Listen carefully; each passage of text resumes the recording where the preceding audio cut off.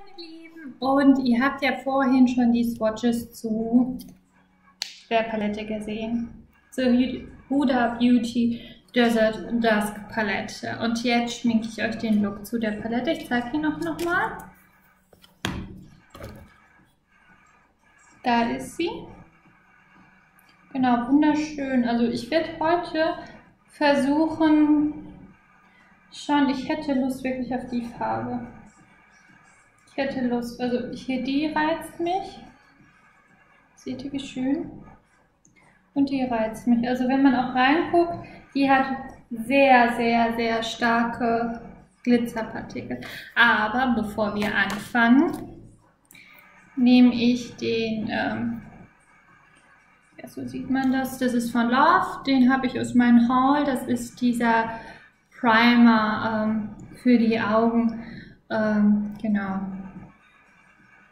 Davon gebe ich mir ein bisschen was auf die Hand und trage ihn gleich auf.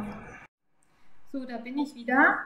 Ich habe den jetzt auch in den Haaren, weil ich gerade einen Pinsel gesucht habe. Jetzt sind auch meine Haare geprimed. Ist doch auch mal was Schönes. So, den gebe ich komplett aufs ganze Augenlid. Also da möchte ich wirklich heute eine gute Basis schaffen, um einfach, ähm, weil wir, wie ihr gesehen habt, so starke Farben hier drin haben. Also wirklich diese glitzerigen Farben drin haben und äh, da möchte ich doch schon eine gute Base auf dem Auge schaffen, weil auf, ich weiß nicht, wie pigmentiert die sind. Ich habe nur Gutes von der Palette gehört, aber falls die ein ähm, bisschen schwächer pigmentiert sind, dass man meine Äderchen nicht so stark raussieht. Also dieser äh, Perfectitude Primer von Love, ähm, der deckt bei mir auch wirklich gut die Äderchen ab. Er creased auch nicht, also er geht auch nicht bei mir in die Falten rein während des Tages. Man muss ihn natürlich wie jeden Primer immer gut setten, damit er auch da bleibt, wo er bleiben sollte. Aber bei mir krümmelt er nicht, macht seinen Job. Was gut ist, er hat fast, er ist ein Ticken dunkler als meine Hautfarbe. Ihr seht, er geht so ein bisschen ins Gelbliche rein. Aber das ist für mich gut. Dann setten wir den wieder mit meinem Lieblings äh, den Sigma diesen puschligen. Und das mache ich mit der Farbe Desert Sand. Das ist die Farbe hier. Das ist auch die hellste Farbe aus dieser Palette und ist so ein ganz, ganz helles, mattes, ganz helles, mattes Braun. Also wirklich so ein, sogar heller als der ähm, Primer. Das Set machen wir auch einmal mit dem Sigma E60. Das funktioniert, glaube ich, besser. Wir damit einmal setten. Wir machen das aber natürlich mit der Seite, wo wir kein, kein, kein, kein Dings haben. So, jetzt können wir nämlich mit den ähm, E40, ja, E40 reingehen und einmal so über das komplette Lied drüber, drunter. Wie immer abklopfen nicht vergessen. So, wenn wir das gemacht haben, man sieht keinen Unterschied. Gehen wir in Mask rein, das ist die Farbe direkt daneben, das ist die hier. Genau, das ist Mask.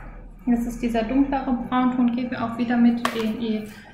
Äh, 40 rein, um einfach das ein bisschen dunkler, intensiver ähm, zu gestalten.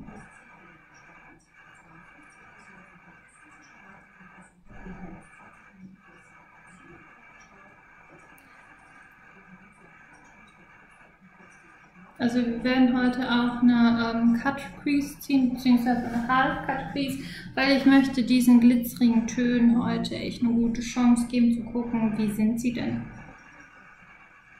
Und ich glaube auch die Palette bietet sehr viele Möglichkeiten, was ähm, Glitzer angeht, was Varietäten angeht. Also ich kann mir auch vorstellen, dass es traumhaft schön ist, wenn man jetzt einfach zum Beispiel Twilight, also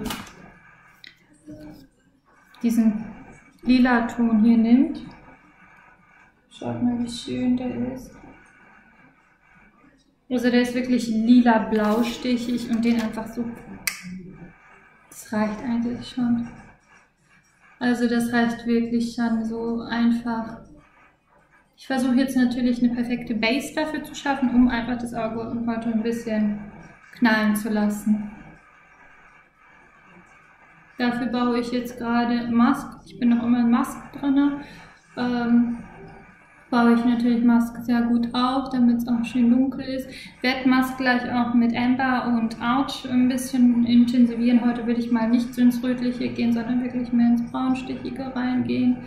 Und äh, genau die Farben, die ich benutze, blende ich euch entweder hier oder hier ein. Das wisst ihr ja, auf welchem Pinsel ich benutze damit, wenn ich zu schnell für euch spreche, ihr auch noch wisst, hm, klick mir hier, was ich genau benutze.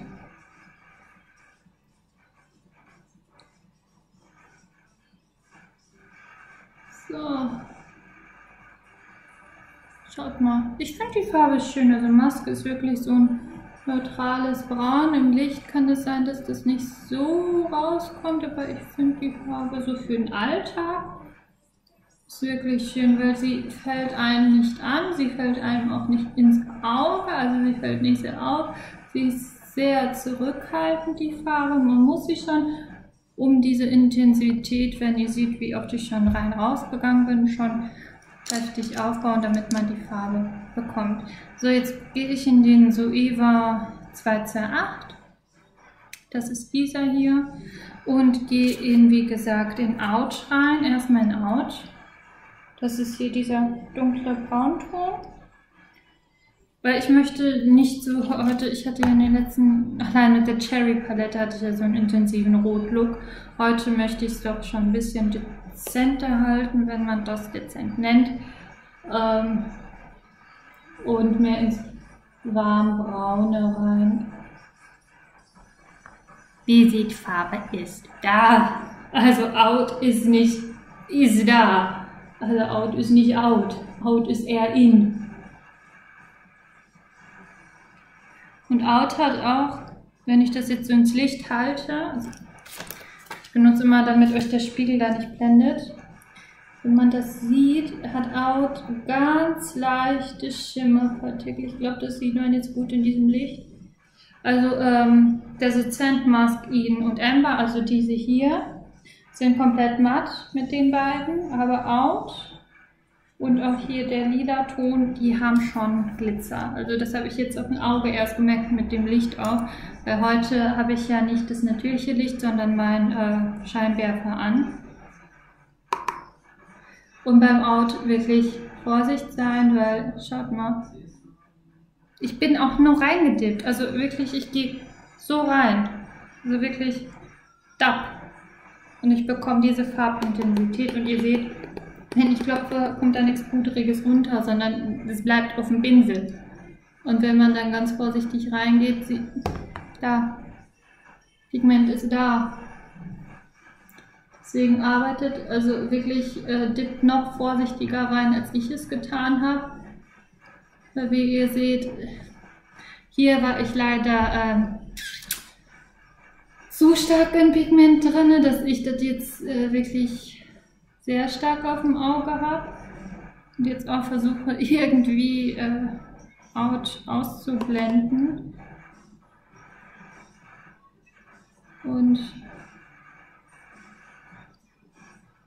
irgendwie damit, aber es funktioniert. Also was mich halt stört, ist, dass man mh, hm, an der Palette jetzt ist, dass man leider kein dunkles, tiefes, also also out keine dunklen, tiefen Farben hat, um einfach hier das Augenlid zu vertiefen, weil wenn man, also ich hätte gerne so entweder so ein tiefes Braun, was wirklich matt matt ist, oder ein Schwarz, wie das viele Paletten haben, um einfach das Lid zu vertiefen. Ich habe jetzt das Problem mit Out, dass halt mein Lid schon glitzert. Also ich möchte eigentlich das Lid eher matt zurückhaltend halten, also schon so boom, aber eher zurückhaltend, aber das klappt leider nicht, weil Out schon ähm, Farbe hat. Jetzt gehen wir in Saffron rein, also Saffron, also Saffron hier unten, dieser Rotton.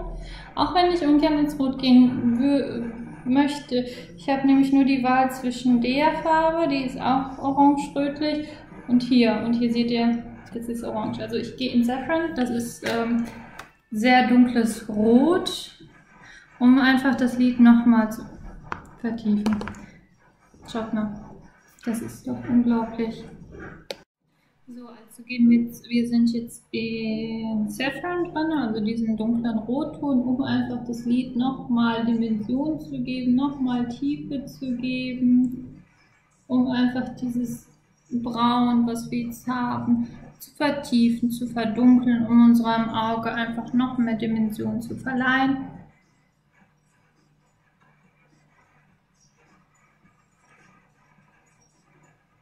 Ja, was mich jetzt halt wirklich stört, ist, man sieht's, wenn ich mich bewege, alles glitzert und das liegt wirklich an Out. Und ich sehe auch Saffron ist matt, äh, glitzernd. Das heißt, ähm, was mich jetzt wirklich stört, ist, ich habe hier vier matte Töne, nee, drei, zwei, zwei matte Töne, die relativ hell sind der Rest ist glitzerig. Also das finde ich halt wirklich schade, weil man schafft, man, man sieht in diesem Licht halt wirklich sehr gut, wie bei mir jetzt das ganze Lied einfach mal nur so glitzert. Also das finde ich echt schade. Da hätte man wirklich mehr äh, Auswahl an Mattentönen haben können. Aber wie man so schön sagt, das Leben ist kein Ponyhof.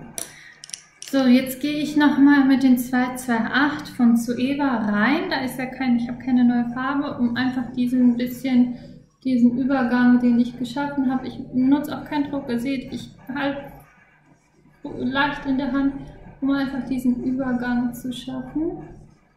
Um einfach auch jetzt ähm, den roten, den ich hier habe, also um Saffron, äh, mit Out zu verbinden dass wir keine harten Kanten haben, wenn man das gerne nennt. Also ich finde es wirklich schade, dass wir keine wirklichen matten Töne haben. Dann gehen wir nochmal in Dosset Sand. Das ist diese hellste Farbe. Ich zeige es euch auch gerne nochmal. Hallo meine Lieben. Leider habe ich nicht gemerkt, wie die Kamera auszusehen ausging. Ich weiß jetzt auch nicht, ab wann ihr geguckt habt oder nicht. Ähm, auf jeden Fall, was ich gemacht habe, ist, ich habe versucht, mit diesem Liner von 183 Tagen, der jetzt ähm, neu in ähm, DM ist, hier eine Line zu ziehen. Ich muss euch sagen, das Ding ist dafür echt ungeeignet. Erstens, er ist nicht präzise, er, man kann kaum zeichnen, er trocknet sehr schnell aus, ihm ist gefühlt 40 Mal da rein. Ich hoffe, ihr habt das Missgeschick nicht gesehen. Ich habe es nicht aufgezeichnet, ich glaube nicht. Jeden Fall habe ich dann den Look gerettet, indem ich halt den mit ähm, Blazing verblendet habe, diesen Liner, und dann nochmal in Cosmo reingegangen also bin. Also ihr seht, Cosmo ist echt gigantisch, wunderschön und ähm, Cosmo ist leider jetzt in meinem ganzen Gesicht. Jetzt ähm, werde ich mir noch die Wimperntusche mit der Forbidden Mascara von Love, die habe ich ja euch in meinem Haul gezeigt und bin gleich wieder für euch da mit einer kurzen Review, wie ich die Palette finde und versuche hier ein bisschen meinen kosmonautischen Begleiter wegzumachen. Bis gleich. Hallo meine Lieben, da bin ich wieder. Ich muss gerade nur gucken, ob die Kamera wieder mit darf. Also, was kann ich zu dieser Dusk Palette sagen? Die Swatches, habt ihr gesehen, die waren gut. Aber sie ist halt sehr glitzerig. Also die würde ich wirklich als zweite Palette, also wenn ihr so eine Grundpalette habt mit äh, erdigen, neutralen Tönen, würde ich euch echt empfehlen, ähm, die dann ähm, zu dem. So, jetzt kommen wir aber, ich habe ja noch von Huda Beauty, habe ich euch gezeigt, dieses Lip Kit. Probieren wir es mal so aus, wie es hinten steht. Also erstens, wir sollen uns den, oh, wenn man das rauskriegen würde. Wartet mal eine halbe Stunde steht. Ach, jetzt habe ich den. Okay. Wir sollen uns also erstmal die Lippenbrauen anmalen. Hoffentlich soll, war auch alles im... Oh, der äh, Lip Liner ist echt schön. Ganz weich. Gibt gut Farbe, was ihr seht. Ist ohne, hier mit. sollte vielleicht beim Lippenkonturen ziehen nicht so viel reden, sonst habe ich den, glaube ich, gleich echt, genauso wie Cosmo überall. So.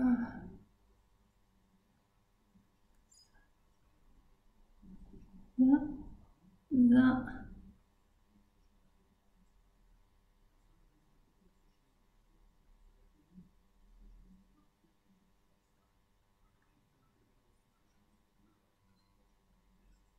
Also das ist der Lip Liner, super. Und dann gehen wir in Nummer 2 rein. Das ist ein Lip Gloss. Die stelle ich euch auch in dem äh, Vorstellungsvideo einmal vor. Das ist die Farbe Spicy. Spice Girl. Das ist dieser ganz dunkle braune Ton. Also, ja, Für mich ein Ticken zu dunkel. Abgesehen davon ist sehr lecker. Also so eine vanillige Note hat der. Und dann soll man noch einmal highlighten mit Minus.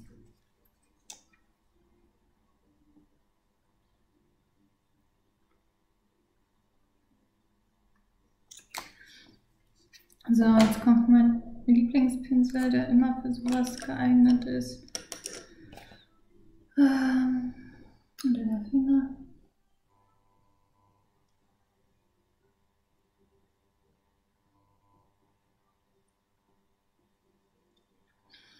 Also ich muss sagen, die,